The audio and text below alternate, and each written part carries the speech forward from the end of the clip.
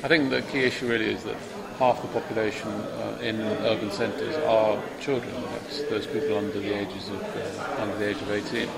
Um, and I think typically, typically people tend to think of children as vulnerable victims who, have, who live with high levels of disaster risk. But in actual fact, you know, children have uh, have intrinsic values and rights and have a real um, they really have a lot to offer to to reducing risk in, in, in, in, cities. So I think you know children make up half the population of cities. Children, therefore, are not only uh, half of the people that are affected, but they're also half the people who, have, who can do something about it. And uh, what other sort of uh, work that UNICEF's been doing on the ground to sort of um, encourage children's involvement in these sort of issues? Right. Well, we've been doing a lot of work, uh, not in isolation. We typically work with local government and national government, but we also work with our NGO partners, in particular Plan International and Save the Children and World Vision, who we do a lot of work at the, at the global level in terms of advocacy for children. But in practical terms, I, I would say there are, there are two two, two things that I'd like to refer to. One is, is school safety and education. Um, there are two, two sides. One is making sure that schools are safe. Disasters, whether they're related to climate change or whether they're related to other hazards like earthquakes, interrupt education. Not only does that have a direct impact on children in terms of perhaps mortality if the school collapses, and we know so many schools collapse, but it also means that children drop out of school and miss out on their education, which has a big impact on their development. Um, I think the other side to education that I think is important to note is, is how education itself um, can engage children in taking steps to reduce their risk, to better understand the environment they're working in, and to come up with simple measures that, that can make all the difference if there is a flood. For instance, you know, knowing what to do when there is a flood, when there's an early warning, knowing what to do if there's an earthquake, what, you know, where to crouch in the building so the building doesn't collapse on you.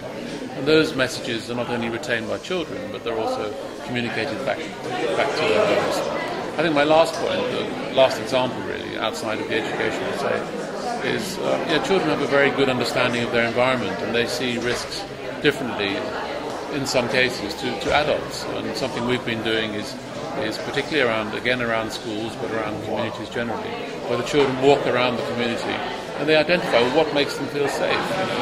Know, as they walk to school, there are things that make them feel safe and unsafe, and those may be bad drains, they may be where there might be flooding, there may be other issues related to their personal protection. So children, you know, have valid perspectives which need to be, you know, considered in, in planning cities.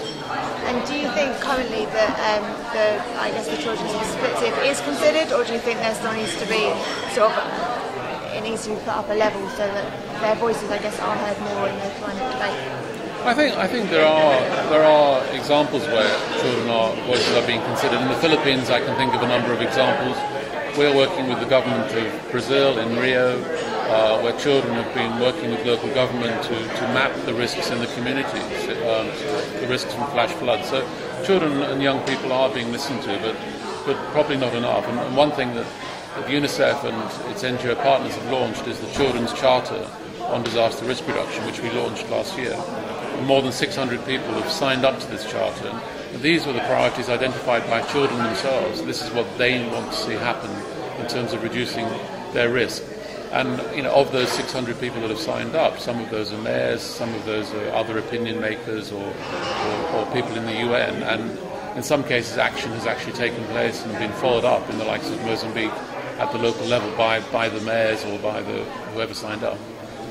Um, and just one final question. Um, obviously, a lot of what you've been talking about at this conference has been about the children living in cities, but also how important is it that um, you get out to more rural areas and, and do the same in that? And how how is that different to the work you might necessarily do in more urban environments? Well, I think that's a very good point. Um, but I think a lot of our experience um, from UNICEF, from NGOs, and from others has actually been in the rural areas. I mean, the experience coming out of the last 30 years in, in aid and development and humanitarian work is largely around the, the rural area. And I think we're not as well equipped as we should be to deal with what are going to be huge, um, huge disasters in, in, in urban areas. So we need to revisit some of the methodologies and tools we use and how we, how we reach out to, to, to children in urban areas, because that's going to be different to how, how we've reached out to children in rural areas.